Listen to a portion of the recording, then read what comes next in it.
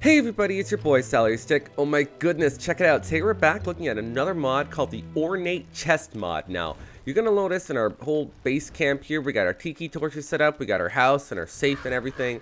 You're to notice we're in a battle arena right now. And in this arena, I like to keep all of our swords and all of our like attack gear really handy, but I wanted something a little nicer, and these chests are pretty cool. They're expensive, but you know what? They're really nice to like add some spruce to the old homestead. So if you click on this, you're going to notice this is a 5x5 chest. I got some of our armor in here, some of our tentacle spikes and our spears.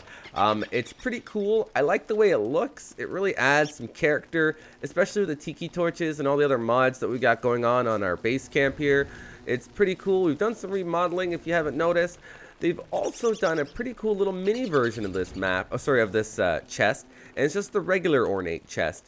Same thing, this is 3x4, and we got some meaty stews, stale, but good meaty stew still, and some berries.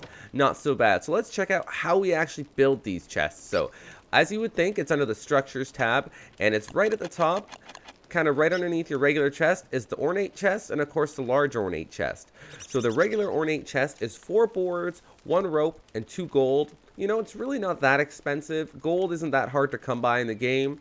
The large ornate chest is a little bit more expensive. Now that's got eight boards, six rope, and five gold, I'm sorry, 15 gold nuggets. Now six rope is, I think, 18 pieces of grass, so that's a lot.